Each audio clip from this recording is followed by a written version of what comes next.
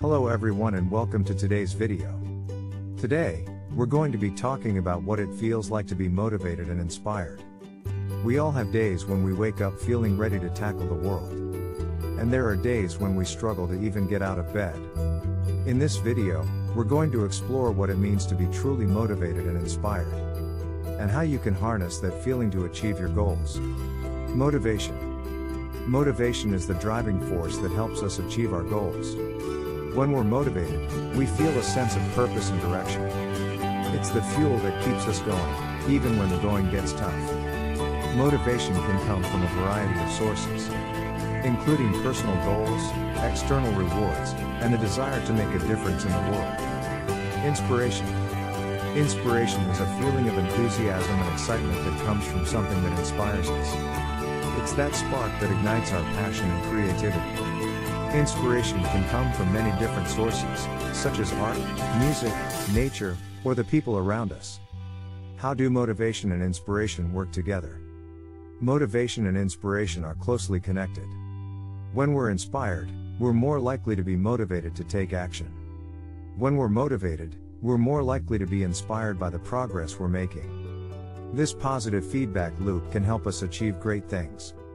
What does it feel like to be motivated and inspired? When you're truly motivated and inspired, you feel like you can accomplish anything. You have a clear sense of purpose and direction, and you're excited about the journey ahead. You're willing to work hard and overcome obstacles because you believe in your ability to succeed. So, how can you get motivated and inspired? There are many different ways to get motivated and inspired. Here are a few tips. Set goals that are meaningful to you. When your goals align with your values and passions, you're more likely to feel motivated to achieve them. Surround yourself with positive and supportive people. The people you spend time with can have a big impact on your motivation and inspiration. Find sources of inspiration that resonate with you. Whether it's music, art, or nature, find something that sparks your creativity and passion. Take action, even if it's small. Sometimes, the hardest part of getting motivated and inspired is taking the first step. Start small, and build momentum over time.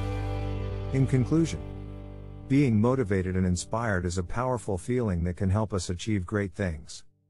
By understanding what motivates and inspires us, and taking action to pursue our goals, we can unlock our full potential and create a life we're truly passionate about. Thank you for watching, and I hope this video has inspired you to take action towards your own goals.